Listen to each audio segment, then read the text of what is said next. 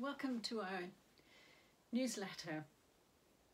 This letter, newsletter comes at the time of the new moon, and always a new moon is a time for planting seeds, for deciding what seeds we want to plant in the earth, um, in the earth of us, in our awareness, in our consciousness, and what do we want to grow in the times that are coming.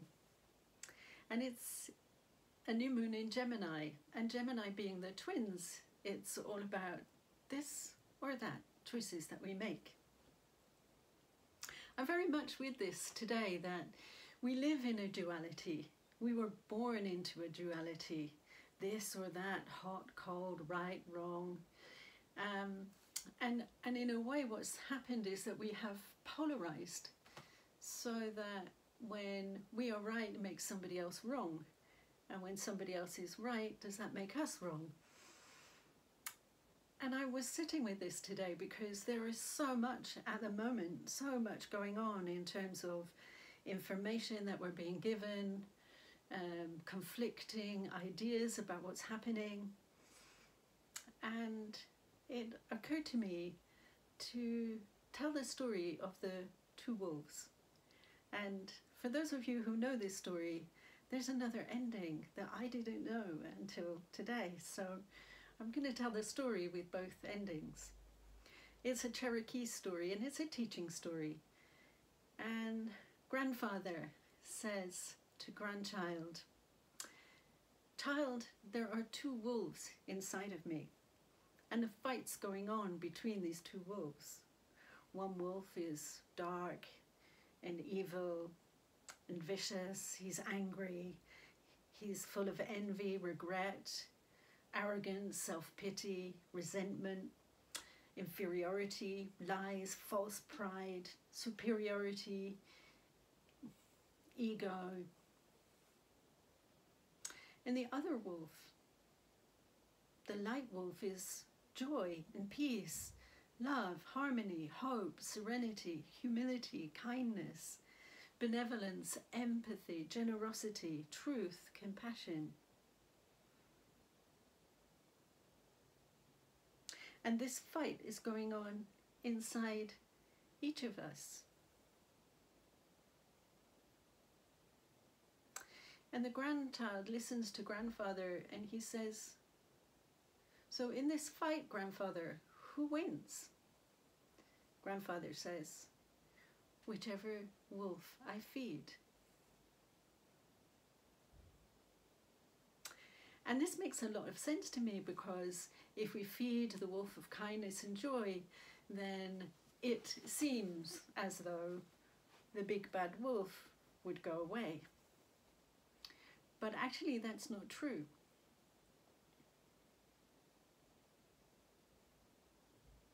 You know this for yourself. Negative thoughts, things you tell yourself, if you try and push them away, they, they seem to get bigger and louder.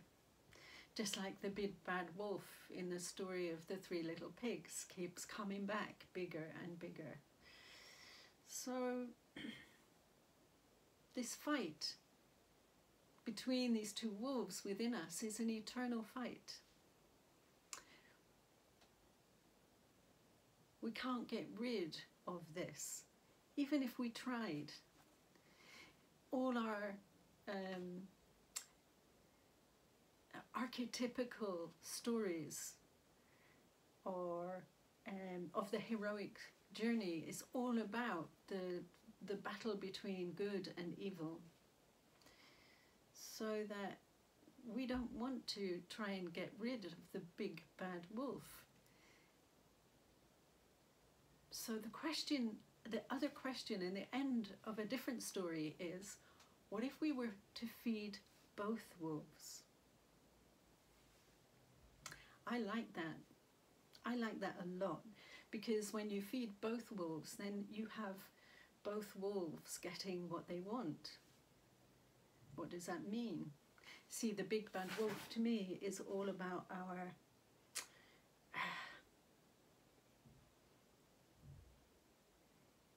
the, the dark side of us. Of course, we don't want to live from that place, but we want to honor it. We want to say, I hear you. I know that you are here and that you are part of me. Uh, we live in a duality. It exists. You exist. You are somebody.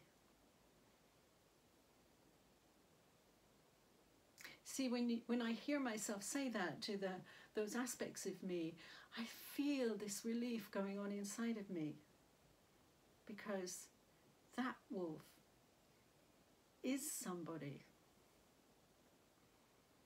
We can't deny it. And if we do, it just gets louder. So we want to feed it with our attention because that's what it's asking of us. When we feed both, then we have a dark wolf. This lays down. I've been heard. And the and the light wolf um, being fed as well with joy and happiness and compassion. And for me, surely feeding the dark wolf also gives us a sense of compassion and generosity and kindness and all the things that the, the white wolf, the light wolf, uh, represents. If you feed one and you starve the other,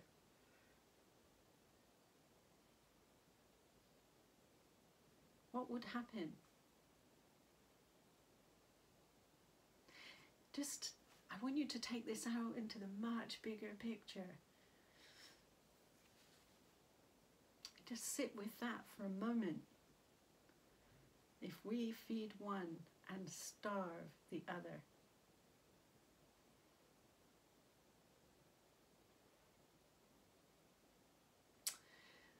So when we feed both, there's no need for any internal struggle.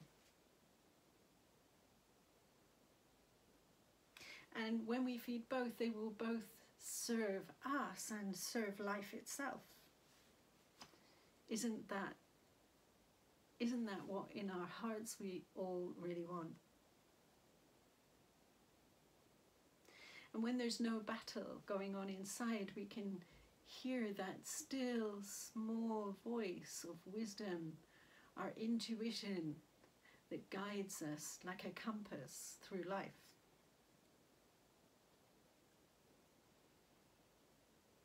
It brings peace. The Cherokee say that a man or a woman who has peace inside of them has everything.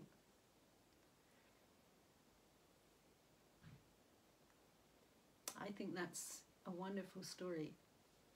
And I'm giving you that story today because we are at that place of a new moon, a new moon in Gemini, which is this or that. In shamanic tradition, we hold both the light and the dark. We have two hands so that we can do that. We can hold both the light and the dark in equal balance it doesn't mean to say we act from the darkness, but we know it. And we've embraced it and encompassed it, the darkest places within us. And that means that we can also hold more of the light.